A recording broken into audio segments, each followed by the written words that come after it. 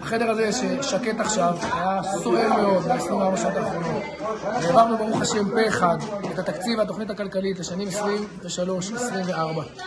הימים האחרונים היו מורכבים, מאתגרים, מאחר ואני החלטתי להקפיד על המסגרת הפיסקלית שנקבעה, שנותרה 484 מיליארד שקלים, ולא לפרוץ אותה.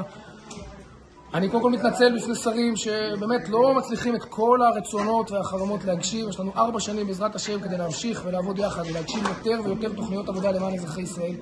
אני מודה באמת לשרים שבסוף גילו אחריות, הגיעו לסיכומים טובים. אגב, אין שר שאין לו דברים טובים בתוך התקציב, דברים חדשים שהוא יכול לקדם. מודה לראש הממשלה על הגיבוי והתמיכה. מודה לתותחי העל במשרד האוצר, באמת בכל האגפים, כמובן בתקציב, דגש גדול על אגף תקציבים והלשכה המשפטית הנהדרת.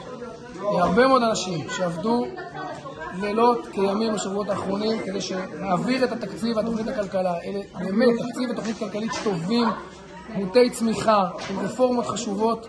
התקדמנו צעד חשוב מאוד עכשיו, ואנחנו הולכים קדימה בכל הכוח.